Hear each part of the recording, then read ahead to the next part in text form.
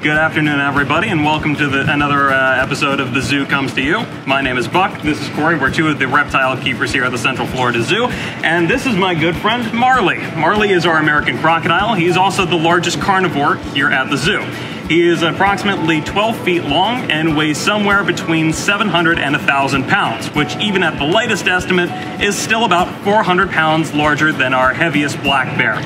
Now, we, they are actually one of four species of crocodile, true crocodile native to the Americas, along with the Orinoco crocodile, the Cuban crocodile, and the Morlet's crocodile. But uh, the American crocodile is special in that it is the only one that you will find here in North America, specifically right here in Florida. Now, you'll have to go a little bit further south to find them, uh, down more towards the Miami, into the Everglades areas, and down towards the Keys. But uh, they have been steadily making their way northward with the increasing global temperatures. In fact, one was found in Brevard just last year. But because of this, this is the only place in the world where you will find both alligators and crocodiles sharing the same habitat. And because of this, one of the most commonly asked questions we get here at the Central Florida Zoo is how do you tell the difference between a crocodile and an alligator? And they do look very similar, but uh, there are quite a few differences between them, uh, actually. Their family trees actually split off about 200 million years ago, so although they look very similar, they're actually not as closely related as you might think. But again, they do look very similar. So the main difference between the two of them is the shape of their head, because that's typically all you get to see of these animals. As you can see with Marley here, uh, pretty much his entire body is underwater except for that skull of his. But if you look closely, you'll see he has a very elongated V-shaped snout. There we go. Uh, if you were to look at an alligator, however, you'll see that they have a more broad U-shaped snout. In addition to this, alligators and crocodiles are a different coloration from each other. Uh, alligators tend to be a dark gray, charcoal, almost dark blue, black coloration, while crocodiles tend to be uh, more colorful. They come in grays, tans, browns, greens, even bright yellows. So they are very different from each other.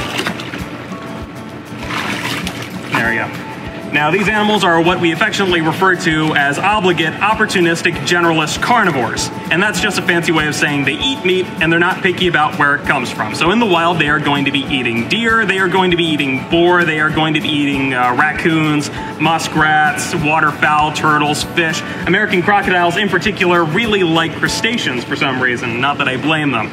But here at the zoo, we give them a few different things. As you saw, I was throwing them a few biscuits. These are uh, called Croctail. They're made by the Mazuri Company. And that's uh, fish-based uh, dry uh, pellet food that is packed with all the vitamins and minerals a crocodile needs to grow happy, healthy, and strong in a zoological setting.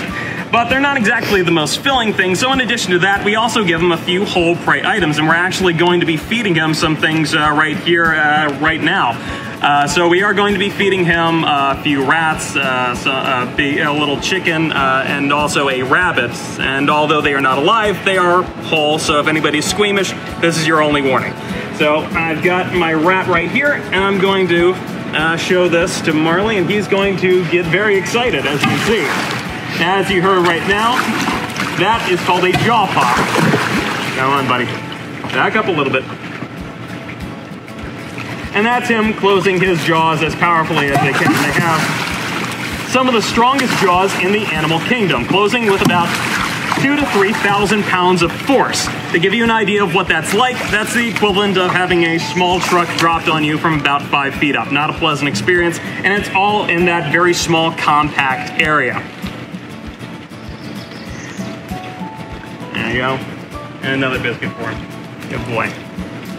Now, as you saw with the rat, he did not chew his food, he swallowed it whole because their jaws aren't designed for chewing prey. Instead, they will grab a hold of whatever they can and they will use their powerful jaws to crush it and then swallow it whole. Now, if they get a hold of something that is too big to eat in one bite, they will incorporate what the media has dubbed the death roll. That's where they will take their food into the water and they will grab onto a leg or an arm or a head or something like that, a bite-sized piece, and they will use their powerful tails to rotate around as quickly as possible and tear off bite-sized chunks, which they will then swallow whole. Now, if they eat too much in one go, uh, what they will do is they will store their food for later, usually in a burrow somewhere. Now we do. Okay. We also have our little chicken for him here.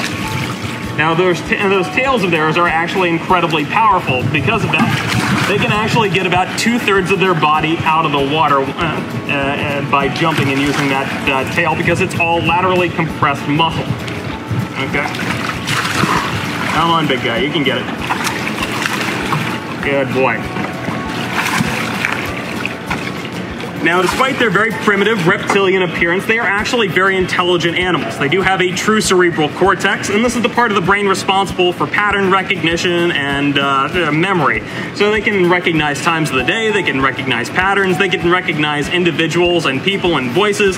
In fact, uh, they can even be taught some basic commands. So I can go, Marley, here! And uh, you know, as you can see, he kind of reacted to my voice.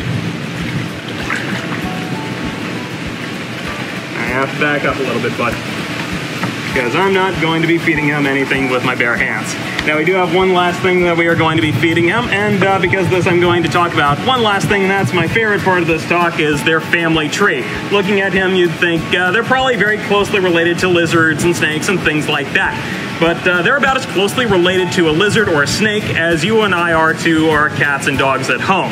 And this is because they are not uh, uh, very closely related to other reptiles. They are part of a group of animals called archosaurs, or ruling reptiles, and this includes animals like pterosaurs, dinosaurs, crocodilians, and their prehistoric ancestors, and because dinosaurs are a part of that group, so are birds. So they are actually more closely related to our macaws and our hornbills than they are to any other reptile. Now we do have one last thing that uh, Corey's going to give him because uh, I think I've stalled on long enough. So Corey's going to be giving him uh, his rabbit for today. Marley.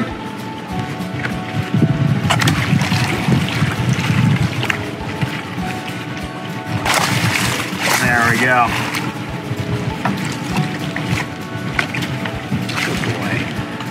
And that about does it for our talk. If anybody has any questions, we'll be around for a few minutes to answer them. If not, we hope you enjoyed the show, and uh, we can't wait to be seeing you again, hopefully very soon. So thank you all, and enjoy the rest of your day. Well, we do have some questions from our viewers today. Ava wants to know what they feel like. Uh, what do they feel like? Uh, it's actually very unique. It's uh, imagine a very, very big turtle. It's kind of smooth, but bumpy at the same time. Uh, Jackie and Bill say hello, Buck and Corey. and hello. Lily, Lillian wants to know how long they get. Uh, depends on the crocodile. American crocodiles usually max out at around this size, so he is a pretty average example of how big they can get, but uh, there are reports of them getting upwards of 16 feet or more and even into the 20 foot range. However, uh, any individuals like that uh, have been uh, gone for a very, very long time. They, they've steadily been shrinking due to overhunting. Thankfully, because they are now protected species in uh, the Americas, their, their numbers have been increasing, and hopefully their size as well. Emma would like to know what predators would eat them. Uh, that's an excellent question. Uh, once they get to Marley size, uh, they don't have any predators. They are considered apex predators. However, uh, when they are still very young, they can be eaten by a multitude of things. Uh, birds of prey, other crocodilians especially, because while crocs are very good parents, they can also be cannibalistic, especially to an individual that's not a part of their family. Jackie would like to know what you're feeding them today. Uh, uh, like I said, we got uh, some biscuits for them, the croc chow biscuits. We gave them a rat and uh, a small quail, and we also gave them a rabbit. Aria wants to know if they are easy to train and how long their tails are. Okay, uh, yes and no for in regards to training. Uh, it's easier to train them when they are young because you, they get familiar with you and they can be a little less temperamental. Uh, once they get to uh, be adults, you have to be very strict with them, but uh, you can train them because uh, they do tend to be very food motivated, as you saw with Marley today. But in regards to their tails, usually their tails are about half to a third of their body, depending on the type of crocodile.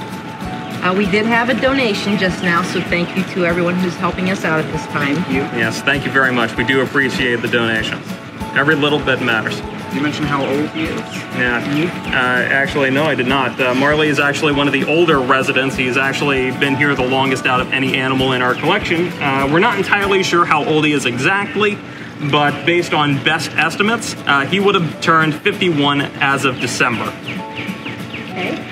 We don't seem to have any more questions, but Elise wants to say how much she loves this crocodile. I love him too. He's my Let's favorite animal at the zoo. Isn't that right, bud? Such a good boy. Okay, and I think he deserves one more biscuit because he did such a good job. Good boy. Any other questions we'll answer on our, our um, website, so be sure and look back. Yeah. And thank you all once again for uh, for joining us today, and uh, we'll see you again hopefully very soon.